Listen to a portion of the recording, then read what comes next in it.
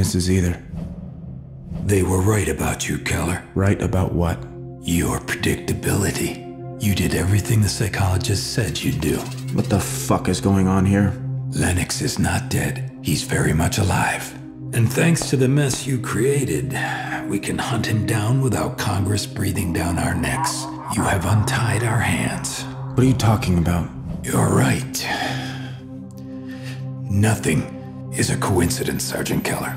I am going to destroy William Lennox, and you are going to help me. What about the charges? My trial? You will die in a fiery crash on your way to the hearing. As far as anyone is concerned, this fiasco will end with your death. You made it through, Sergeant. You crossed the finish line. A while back, you said you wanted to kill Lennox so bad you could taste it. Can you still taste it, Sergeant Keller? Yes. Then let us begin.